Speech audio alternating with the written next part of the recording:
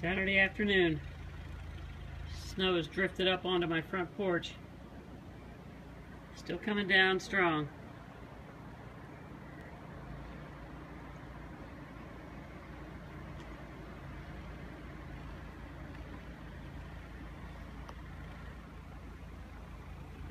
My neighbor's out there continuing to clean the street. It'll be days before we see a plow.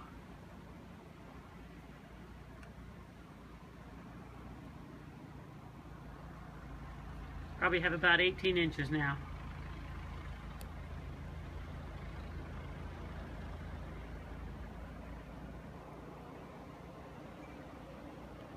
Look at all the snow drifted up onto my porch.